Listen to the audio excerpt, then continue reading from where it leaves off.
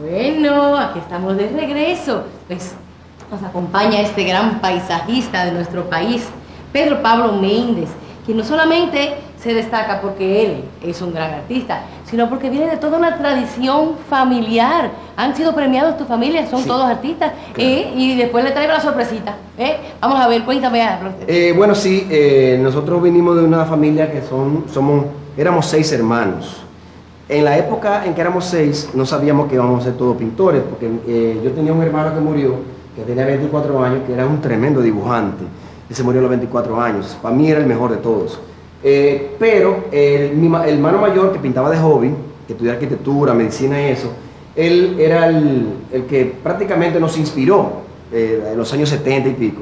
Nosotros cuando estábamos en el campo, él llevaba algunas de sus obras a la casa y para nosotros, wow, era un genio ese tipo. Lo cierto es que después, cuando vine, más o menos en el 85, nosotros nos fuimos, mi hermano y yo, a San Francisco de Macorís a, hacer, a estudiar en Bellas Artes. No hay ninguna tradición en mi familia y es así. Bueno, ya que estás hablando de familia, pues no podemos dejar de mencionar un personaje muy El importante. Benjamín. El Benjamín de la familia, que es tu hijo Jonathan. Sí. Señores, Jonathan es un Cuatro- artista cuatro- plástico. Desde los dos años Sí. está haciendo obras, tiene cuatro años. Actualmente no pudo venir en esta ocasión, pero van a ver algunas imágenes. Y sencillamente ha causado sensación. Por su trabajo, por lo bien que él pues plasma sus, sus colores, eh, la difusión de sus matices. Y ha sido entrevistado inclusive para Estados Unidos. Sí, ¿Mm? claro. Eh, Me gusta ese apoyo que le estás dando a tu hijo. ¿eh? Eso, eso es tremendo. Mire, vamos a hacer un- un- una quilla. Es, eh, la quilla es donde se amarra la, el, La el cable, el, el cable que va adelante y la vela que va adelante. Porque nosotros vamos a hacer, en este caso nosotros estamos haciendo un velero, no una yola. Ahorita Ah, parecía una yola. Sí. El velero lleva vela. La yola es con remo. Entonces, vamos a ver, porque aquí yo voy a poner las, las velas que van delante y es importante que usted siempre primero haga una mancha, una mancha del color, ¿verdad? En este caso, eh, yo lo hice directo del color que tenía en la mano, pero lo ideal sería que siempre usted trabaje con un color frío, el color de sombra, y luego usted le pone la luz.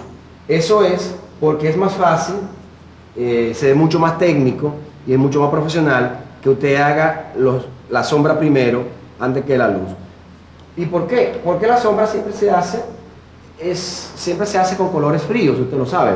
Entonces, si usted pone luz encima de sombra, se ve mucho más elegante que usted ponga sombra encima de luz. Se puede hacer de la otra manera, porque tampoco no es una regla eh, que es así, eh, obligatoria, no. Usted puede hacerlo. Pero, por ejemplo, usted quiere ver una idea, usted agarra y pinta un fondo frío, haga sus dibujos de un bodegón o de lo que usted quiera, y entonces dibuje la sombra, trabaje las luces del, del- y deje la sombra de las frutas, deje la- el mismo fondo que el fondo que usted tenía. Para mí sería genial y mucho más rápido. Bueno, como es genial este trabajo que estás haciendo, vamos a ver ya rápidamente cómo se va terminando la vela. Ustedes van a ver las imágenes ya en acción. Quiero agradecerte, pues Pedro Pablo, pues que has dispuesto este tiempo maravilloso para hablarnos de ti, de tu familia, de toda tu, tu trayectoria maravillosa y de plasmar pues tu arte para nuestro público, que yo sé que va a estar muy, muy contento y satisfecho, pues por lo que has explicado, todos estos detalles que un gran maestro pues solamente con toda esa práctica puede dar. Bienvenido Nosotros- siempre. Sí, nosotros estamos en la Escuela de la Marina, para los que quieran y no pueden venir don- donde ti. Sobre todo los que están de aquel lado, ¿verdad? Exacto. Pero los que están de aquí, vengan a aprender aquí. Ok, entonces dime, ¿a dónde pueden ir a clases contigo? Nosotros, yo soy director de la Escuela de la Marina de Guerra, eh, donde estamos allá hace siete años. Y, eh, básicamente las personas que van allá son gente que no pueden pagar, ¿no? Eh, apadrinada por la Asociación de Esposas de Oficiales. O sea, se vive cerca de los artilleros navales, que está por ahí cerca, ¿verdad? De los mamellos, detrás de la base naval. Usted está bien cerca por ahí y no puede venir aquí a aprender pintura no Soraya los viernes de 2 a 6, a 5 básicamente. Estamos ¿Hay algún tres profesores, sí. Y Ustedes llaman a la Marina al 593-5900 y buscan la extensión de ADEOMA. eh, Adeome la Asociación de Esposas, que apadrina la escuela y ellos le van a dar allá.